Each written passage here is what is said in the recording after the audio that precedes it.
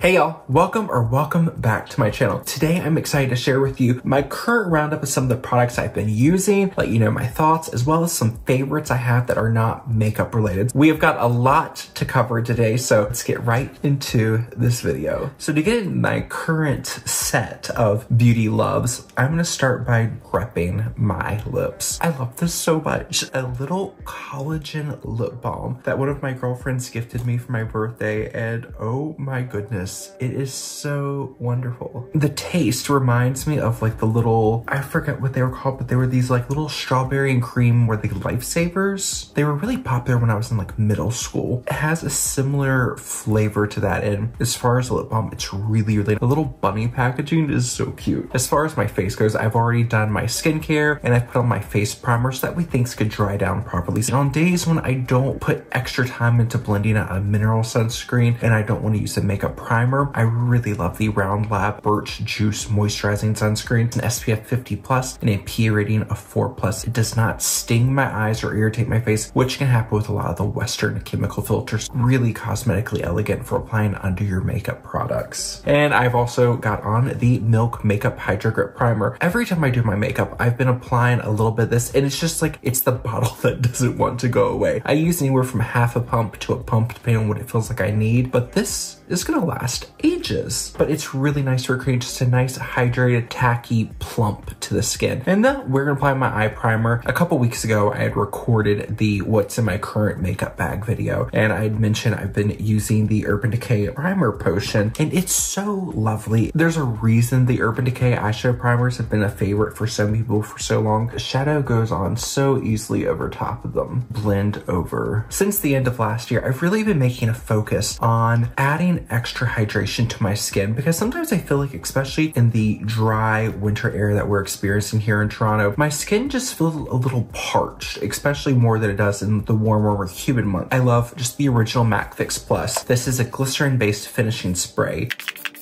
just using a little bit of this on your skin between makeup steps, it helps just add a little bit of extra moisture to the skin and it can help reduce the overall makeupy look on the skin that can happen when we're applying makeup. Product I've been using a lot recently, but it's not a favorite. The Maybelline Instant Age Rewind Perfector 4-in-1 Glow Makeup. The shade I have is 00 Fairlight. What made me decide to start using this again is I noticed there's been an shade expansion with this product since I purchased the one I have. Normally when you get this, it has a large kind of like puffball applicator. I remove that to keep it more sanitary and I just spent some on the back of my hand. BK Beauty 106 Round Top Foundation Brush. Working this into the top of my hand. This one is the shade. When I purchased this, this was the closest shade to my skin tone. I think there's now a 0.5, which is like fair cool. Applying it under my makeup, it works, but it's slightly a little too golden for my skin. I don't feel like the temperature of the product skews too warm. It's just too kind of like a golden olive. Like you can see, it doesn't appear glaringly like orange on my skin. It just looks a little bit more of a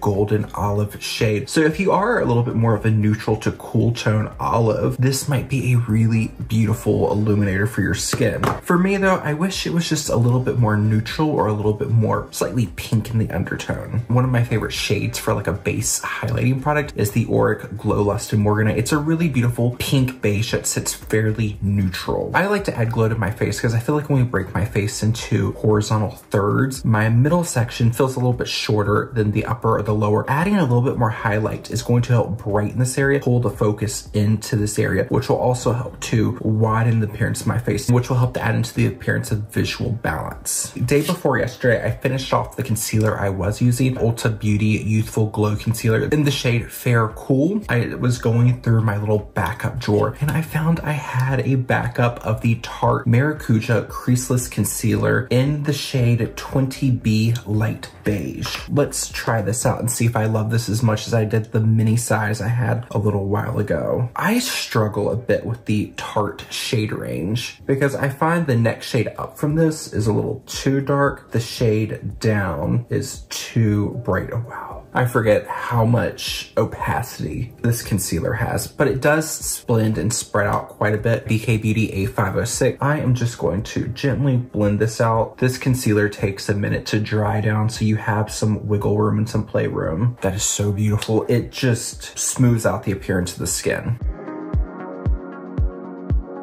Next time I would use a smaller amount. I applied this very much the same way I was applying the mini size I had of this. Mini applicator is teeny tiny. You get a lot less product than you are with the full size. So just for next time, I would apply less product. This is really, really beautiful. You do need to spread it out because just applied kind of at full force, it is going to like, if you look here, just applied here kind of like full opacity, it looks a little makeupy. If you need to, you can even spray a little bit more Fix Plus to rehydrate and allow it to slip a little bit.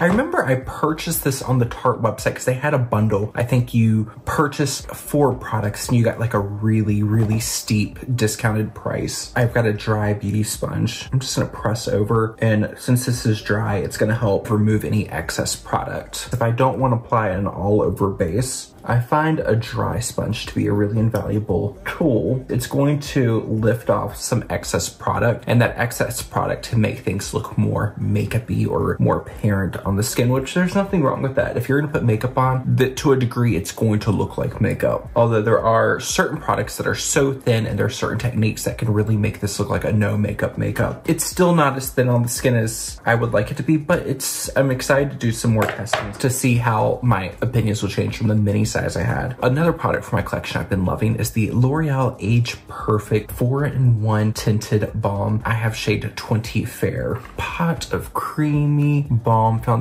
and I like using my fingers. One of those days when you just want a little, bit of coverage but you don't want too much coverage. You want everything to still feel pretty natural. Using a little bit of this, blending it out with your finger at first is gonna help warm it up, melt it into the skin, and then I go back with my complexion brush and I can sheer out. Now once I have that on anything I have left on my brush, I'm just going to gently run over the lower portion of my face. I had taken my wedding ring off right before I started recording because I wanted to put hand cream on and I, I cannot stand putting hand cream on with jewelry on because it just gets stuck in all the grooves and under the rings and things like that. So I like to remove all of my jewelry, all my like fingers before I apply any type of hand cream. And I just saw them sitting on top of my blusher. I have a product I purchased about two weeks ago and I can't make up my mind if I like like it or not. The Chanel Le Blanc Brightening Compact Foundation, Long Lasting Radiance Protection Thermal Comfort, and I purchased my usual Chanel shade BR12. Inside, you have just a little puff and then the powder. This has been on my list for quite a while because the Chanel Le Blanc Powder Foundation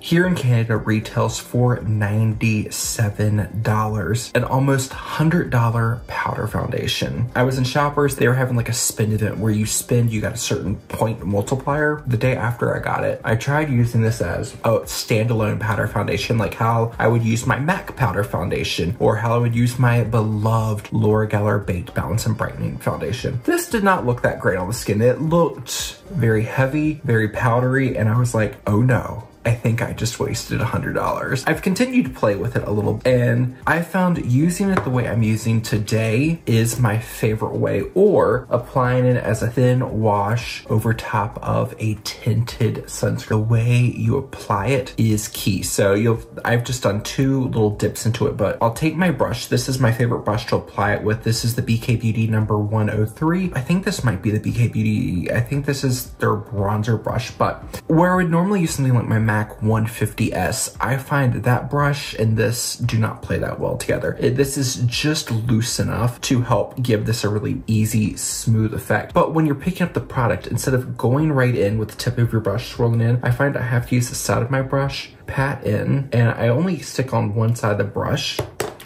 and then I'll take my hand, pat my brush, roll it around in here, and then we'll have a thin layer that for my first pass, I'll go through and press over like I was, and then I'll use that second pass to just gently buff and connect everything, which is very similar to the way I apply powder foundation. But this one, you just have to be a lot more cognizant of how much product you're picking up and keep it thin or it will look heavy. Applied sheerly and over a well prepped base, it's really beautiful. I want to continue testing this, put it through the full foundation wear test. And if you've seen any of my foundation videos before, I generally like to do a full five day wear test. It doesn't matter if you're spending $5 or $500. If the product does not perform, it's not worth the money and it's an unnecessary expense if it's not a product that performs the way you want it to. So no matter how much I spend, I want to make sure it's a good product product because if I don't like it and I don't fully back it, I'm not to recommend it to you. The exception to that is if I don't like it, but I can see what someone else would like in. That's something that I've noticed over the last couple months. Reviewing product is so fascinating because you can either just review product and say, I like this, I don't like this, move on. I like to create more well-informed reviews. And that's something in the past I've, when I've watched my own videos back, I wasn't always happy with the reviews because I'm like, something's missing. Last year, I thought about it on and off about how can I create a makeup review that meets everything I want as a consumer. Create the content that I wanted as a viewer. Now, there's so many different people out there, so many different styles. I'm just another person in a large pool of content creators reviewing beauty products, but I normally find with an review, there's certain things that I want to see that aren't mentioned. So I've taken the time, made a big list, made my grading rubric, and I'm really excited for to start rolling out some foundation and concealer reviews to share with all of you. And I hope you find them as helpful as I'm hoping they're going to be. We've got some very new to me blushers. I've had these for about two days now, and I have to say, well worth the anticipation. From Finding Ferdinand. Finding Ferdinand is a brand I've been very, very curious about. Brand I originally heard about through my friend Ted, and, and Ted is a fellow content creator. His channel is Buffalo Beauty Boy. I'll have him linked down below. I think he sent a lipstick to Hannah Louise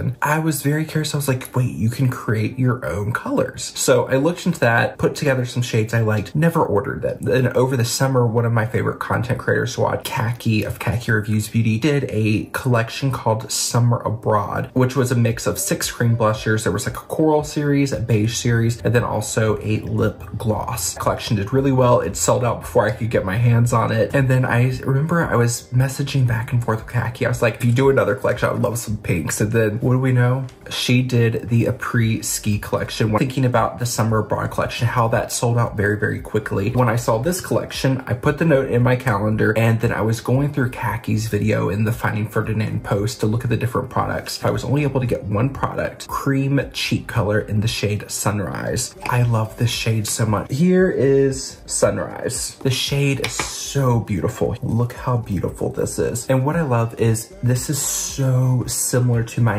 natural lip color. When I logged onto the Finding Ferdinand site to order them, so many things were already sold out, but this blush was still available. I really wanted the shade adjusters and they were gone when I got to the website but I was able to get my top pick shade, which is so beautiful. You can definitely build the color up, but it's such a beautiful sheer flush to the skin that you can build up to have more opacity. So I did pull some shades to swatch and they have a range in temperature. So here is Finding Ferdinand Cream Cheek color in the shade Sunrise. One of the first shades that popped to my mind was thinking about what colors I have that might be similar in my collection. Clinique Cheek Pop in shade number 14 Heather Pop. Slightly lighter, has a little bit more of a blue reflect in it, but very, very similar. So, so beautiful. I think Heather Pop has been in my favorites for the last two years. Next shade that came to mind is a classic Tarte Amazonian Clay Blush in the shade Exposed. I used to love this blush so much. I think it was like 2013, 2014. I used this blusher almost every day. Tarte Exposed. Similar to Sunrise, slightly cooler, slightly deeper, and it leans slightly more plum versus a more of a beige mauve.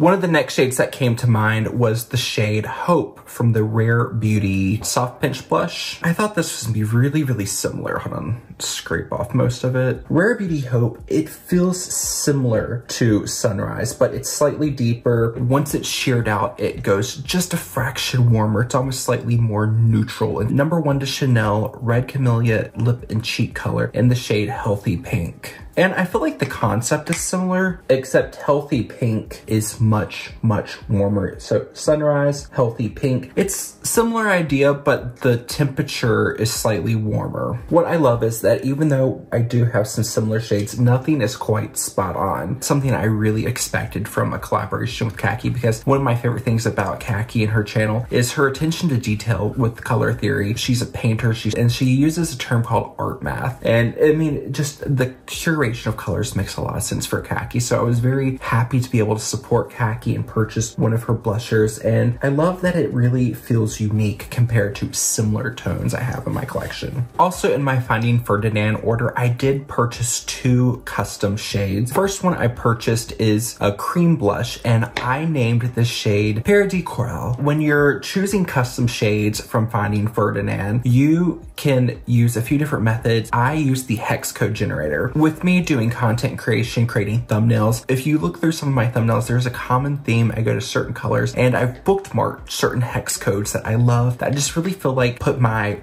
brand together as a content creator. And Paradis Coral is based on a hex code for a certain shade of pink red that I use quite a bit in my thumbnails. And here is what this looks like. And ooh, it is so, so pretty. Look at that.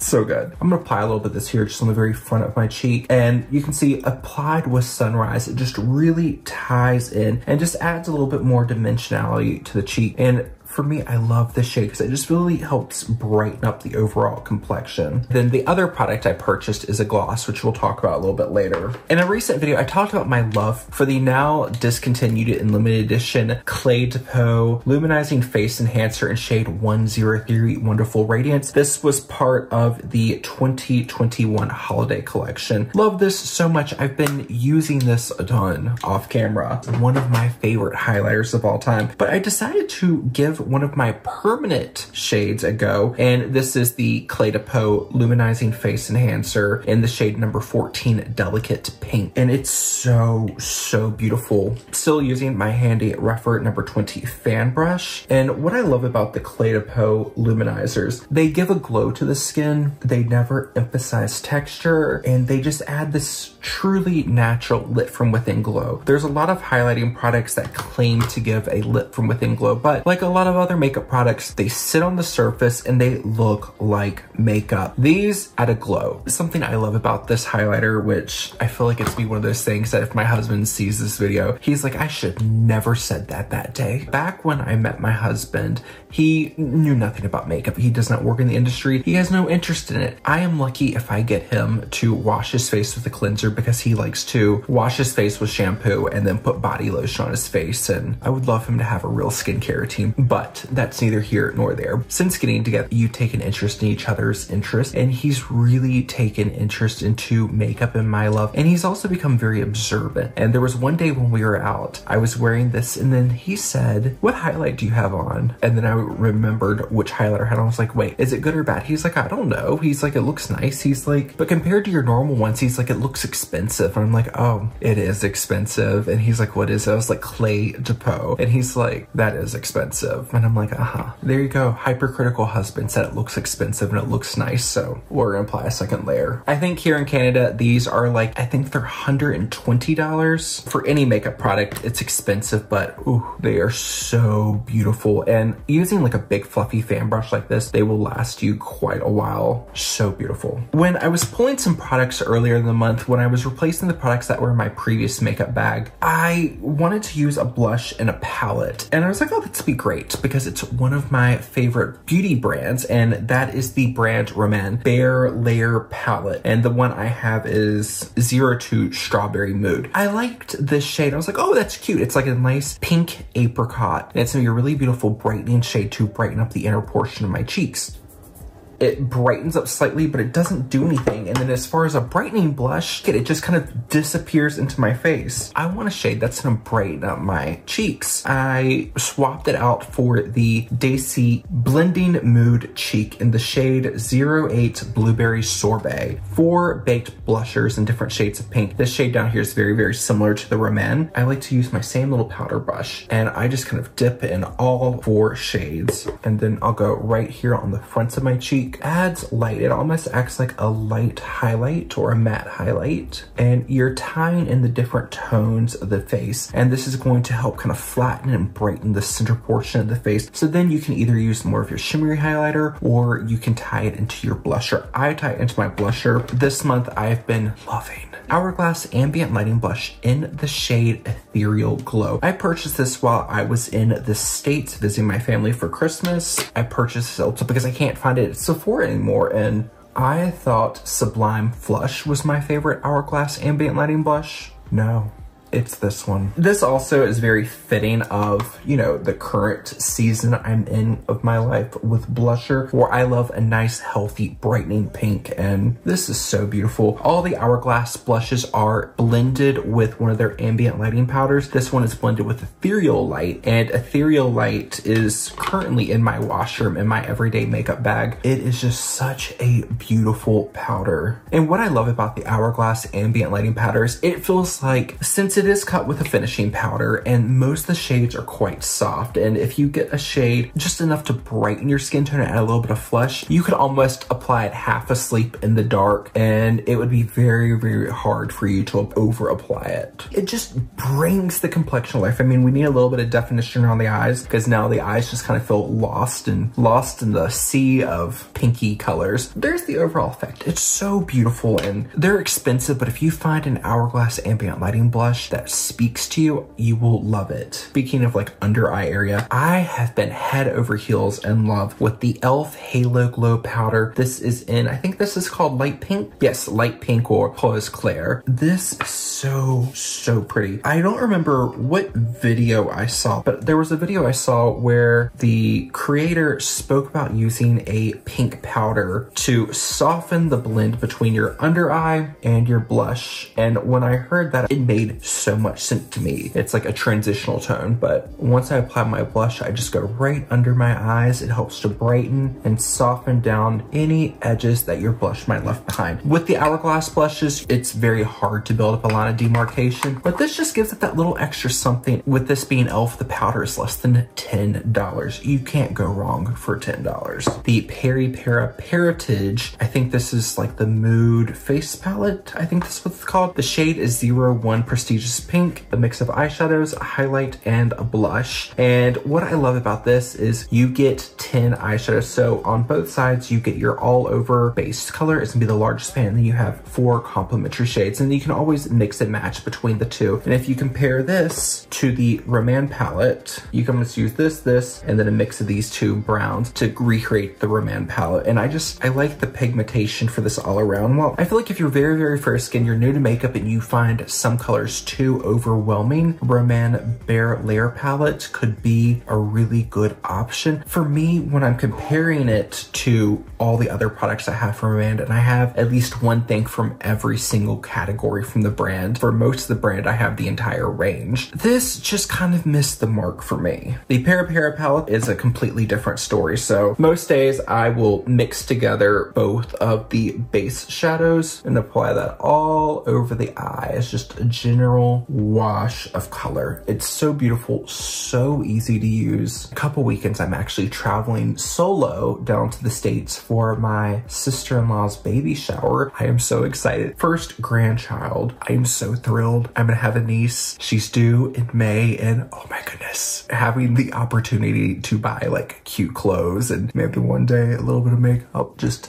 thrills me. I just, I love things like that. I don't know if children are in the cards for me and my husband or not, but my friends have kids. Now, you know, there's gonna be a grandchild in the family. I'm so excited. I love having like children around so that way I can still like interact and give gifts and spend time with them. It's just, it's so great. And now I'm mixing the two pink shades. Being around kids, interacting with them, there's just something about it that is so fulfilling, especially the older I get. In my early 20s, I just really didn't care for children. But you know, as I've approached my 30s and now I'm in like mid 30s range, just being around children is just so fulfilling. And I think that goes along with, you know, like this whole like self care, taking care of myself journey. There's just something about taking care of myself, growing as a person. It's made me really appreciate things that, you know, I might have taken for granted before. Like, you know, like kids are kids. They grow up, interact with them, they can talk. But no, like from early on, whether you're working with a baby or spending time with like a puppy or something like that, you're helping to set the stage for the rest of their life. You're able to, you know, put a positive spin and just really, you know, set more of like an optimistic base. At least this is what goes through my mind.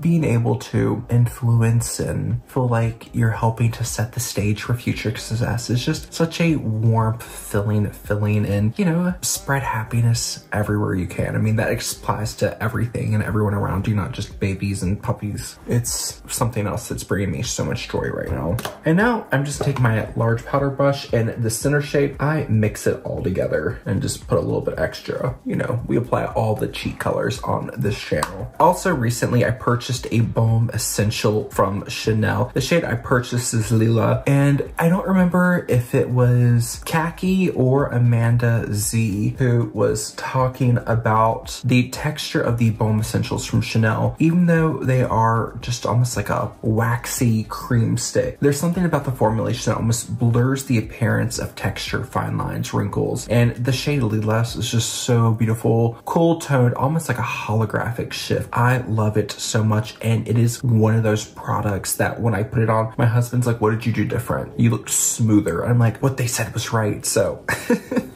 Thank you to Amanda and Kackie for talking about the Baume Essentiels from Chanel so highly. They are lovely. Speaking of Chanel, last month I was raving about how much I love the Rouge Coco Baume in the shade 938 Keep Cool from the Winter Glow Le collection. And here, I'm gonna put this on my lower lip.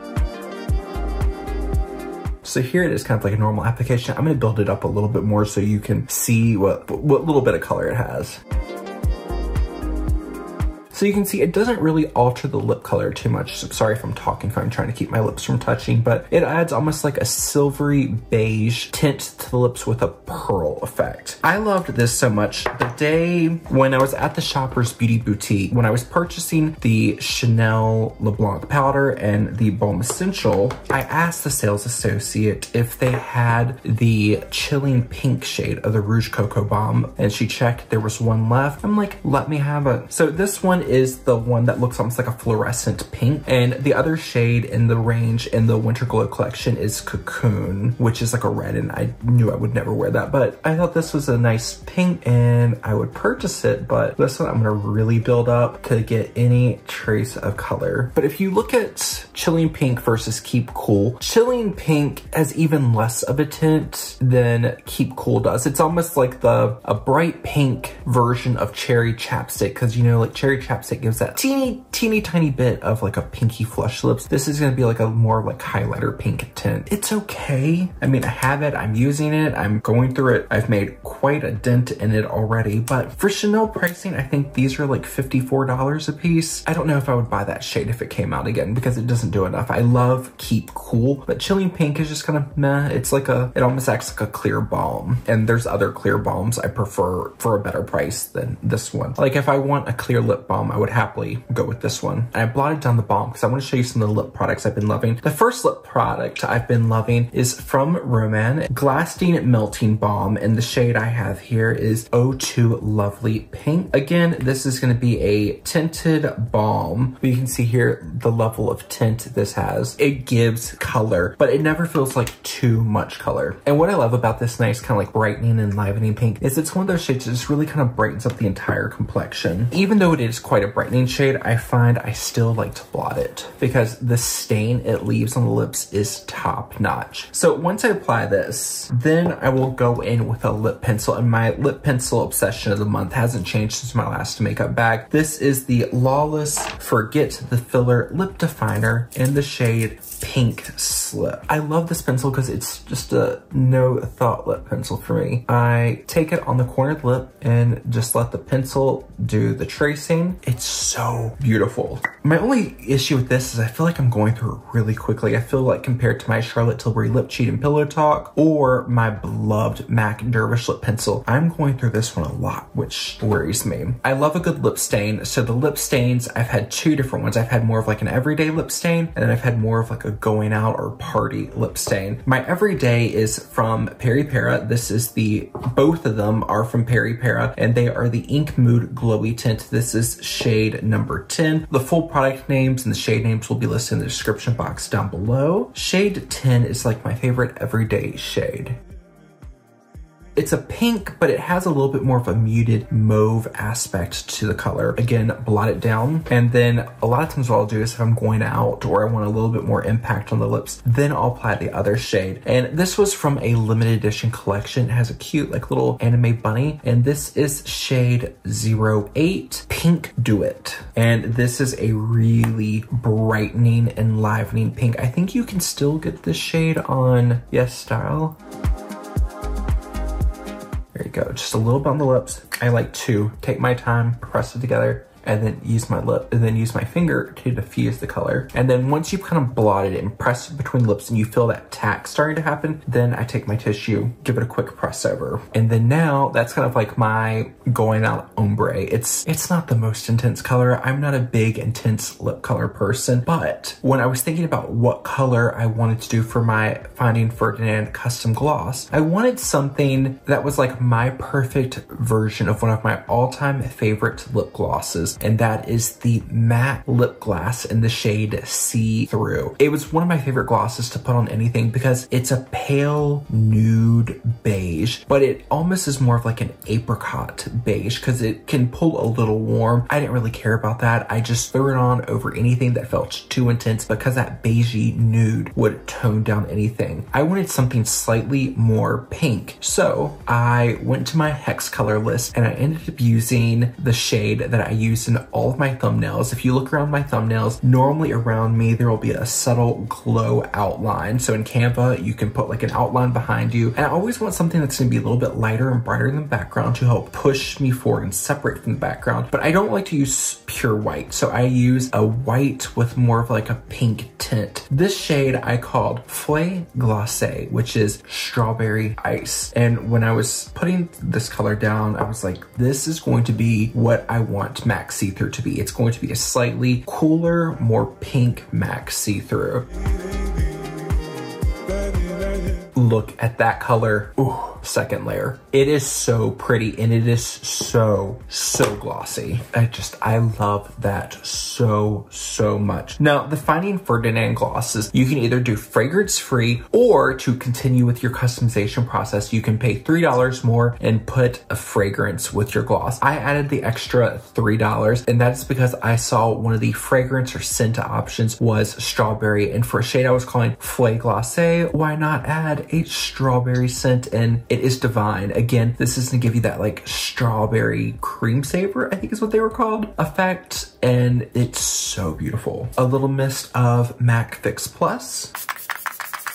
I ran out of my backup mascaras. I needed a new mascara. So when I was walking through shoppers and getting the Chanel products, I was like, oh, let me grab a mascara. And I saw Essence had this new Lash Without Limits Extreme Lengthening and Volume Mascara available in a brown shade. I think this was like four or five dollars. So the first thing to note is the brush is a little rubber tipped cone style brush, which is generally my favorite style of brush because I feel like I can really push in and build up the lash look I enjoy. And this gives a really beautiful, defined, and slightly lengthened look to the lashes. When I compare this to some other mascaras I love, like the CoverGirl Clump Crusher or any of my favorite K-Beauty mascaras, this just doesn't give the same length that I want out of a mascara. And I find it's also a slightly heavier mascara, so it doesn't hold a curl very well. But that's not the big deal breaker. It's just okay. I mean, for $4, you can't complain too much, but for $4, you can also get some better mascaras like the Essence Lash Princess mascaras. Those are wonderful. This is just not a favorite of mine, but the big deal breaker for me with this is after about 30 to 45 minutes, it starts to transfer and flake off. That leads me into applying another mascara on top of this. One of my sweet friends, Andy of Andy Stuff, for my birthday, she gave me a Sephora gift card. So I put that gift card hard towards a few new products, and one of them is a mascara that's been on my wish list, the Tower 28 Make Waves Mascara. This is in the shade Drift, which is their brown mascara. Once I have on my Essence mascara, I then use my Tower 28 and I will apply a coat on top, making sure to press and hold up as I pull through my lashes. And that just gives a little bit of extra length, gives a little bit of volume, and it helps to really lock in a curl. And I love that you can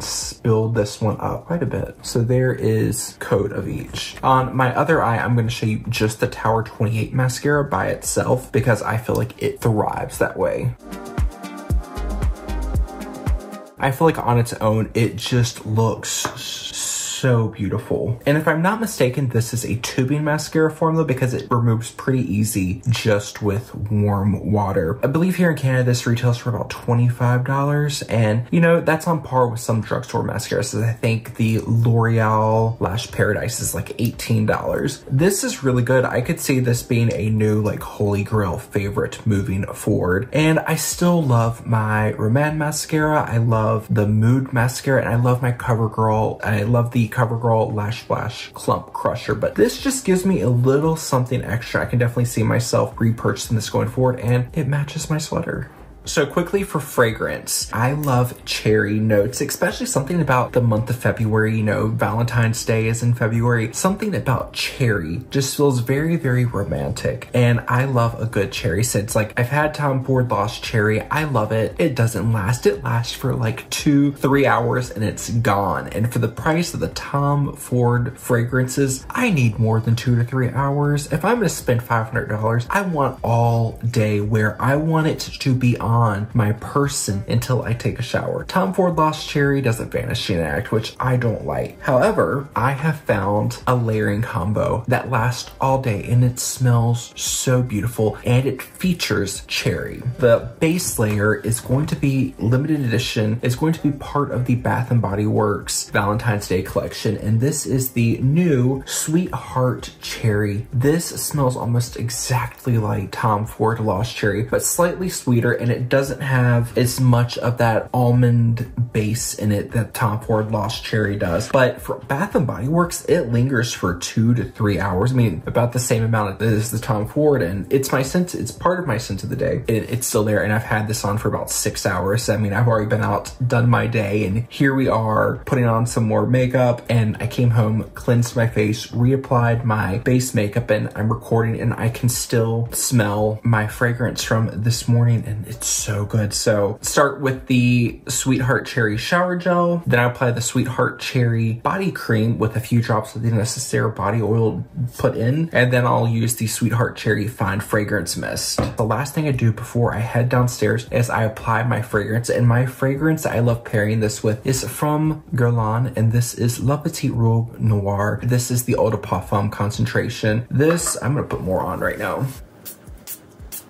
so, so good. And this is one I wish I would have purchased a larger size. I did purchase a smaller one. You can see I've got a nice dent going in. When this runs out, this is full big bottle worthy, instant repurchase worthy. It is so good and it fetches so many compliments. These two layered together, no matter where I go, no matter when I've wear it, no matter what outfit I've worn with it, this always garners compliments. And you know, it's always nice to be complimented. And a lot of times I run into when friends hug me, they'll they'll be like, you smell nice. But this is one where like, you know, people will stop and be like, you smell really, really good. And it's like, oh, well, thank you. For any of my hairdressers out there, my hair, like it's lightened to about a level 10. And I was going through my cabinet and I need to go to Cosmoprof and get some more toner, but I was like, what do I have in here? So I ended up mixing together a 9NA, 8V, and 8A. And then I was like, okay, that could be a little bit darker because now we're going darker than my color. So then what I ended up doing is is I used those as a half ratio and then I did the other half clearer to meet that 1%. And then I did a full like one to one ratio with that in developer. And I left it on for five minutes and here we are. I mean, we're still a dark, we're still blonde. We're moving into the dark brown, but it's ashy. It's a toner. It will fade out pretty soon, but that shocked me when I dried my hair and saw how dark it was. It's not far off from my natural color. Random, I never thought I would mention as a favorite, but I have to because I love them so much much, and that is hairbrushes. Everyone needs a good hairbrush. Different hairbrushes do different things. Because think about when you go visit your hairdresser, they will have a few different brushes. And for me, with someone within fine hair, I've been doing PRP. I use my topical, topical minoxidil, everything I can do to keep my scalp healthy, to maximize the amount of regrowth I can have, much of the androgenetic alopecia or pattern balding that I'm experiencing. So tools are very important. I like my tools to be gentle. I don't want too much tension on my hair. So I like to keep my tools very, very simple. And over the last, and over the last year, I found some tools that have just really, really been such a blessing. So I always like to start off with a comb for detangling. And my favorite one is from Wet Brush. This is their just basic comb. And what I love is it's just really, really gentle. I mean, it's pretty much the same thing as their brush, but just made like a comb. It's really nice, really gentle. After my shower, after I apply my leave-in, any type of leave-in treatment cream and oil, then I will use my just regular wet brush Vented detangler. And this is just a really, really nice detangling brush. And I like to go one step further because these bristles are quite loose. It's quite flexible. So then I like to use my Tangle Teezer. This is just a classic. I like the version with the handle versus the one that fits in the palm of the hand. And this is the variation for fine, fragile hair, but these bristles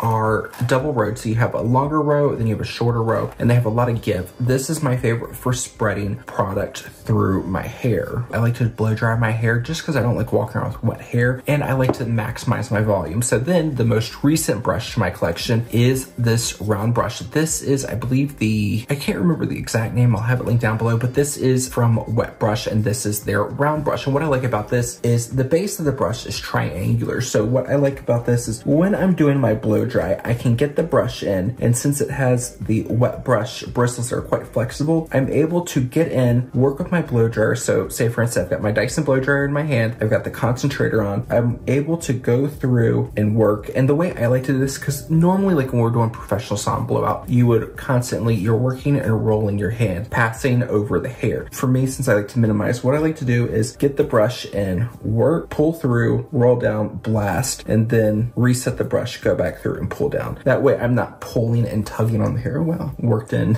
some dry shampoo. This is just really nice, really flexible brush, a little bit harder. I was only able to find this on Amazon in the US Amazon. This brush is a little bit more specialized, but every night before I shower, I always use, this is called the Wet Brush Pro Shine. Abby Young mentioned this and I tracked it down, found it on Amazon because I couldn't find it at the beauty supply. For some reason, my local Cosmo Cosmoprof only stocks the regular wet brush and the vented wet brush. I was able to find this one on Amazon and this has a mix of a like a synthetic boar bristle with the typical wet brush flexible brushes. The two different bristle types help to pull oil throughout the hair. So a lot of times when you're cleansing your hair, you want to focus on the scalp and remove buildup of oil or sebum from the scalp and pull it through the strands. And that's our aim when we shampoo. What I like to do is use the brush and then I'll start from the bottom, pull my way up. That way we're making sure not to tug on any snags. And once you get down and start pulling it from the root to the end, it will help pull any oils from the roots to the ends because think about our scalp is up here, our ends are down here. Our ends are the oldest, most dead part of our hair. So pulling down those natural oils will just help to kind of recondition and nourish the ends of our hair so they don't feel dry and crispy, especially if you're someone like me who chemically treats your hair. It can get a little crispy. That just helps to minimize the crisp to the hair. And then last but not least, we should all be cleaning our hair brushes. And I recently purchased this little brush cleaning tool from Kitsch, something that bothers me. But when you've got someone's hairbrush and you see all the hair in the brush, I normally just used a comb. I would normally just take a normal little comb that you can get in a big pack from the dollar store and just go through and clean out all the things. And then I'll use like an old toothbrush and work some shampoo in. But this little tool makes it easier. So if you're someone who has like a lot of hair, say for instance, you're someone who uses a brush like this that has more packed bristles, you can use the pick side and go in and pick out any hair. And then you have the more toothy side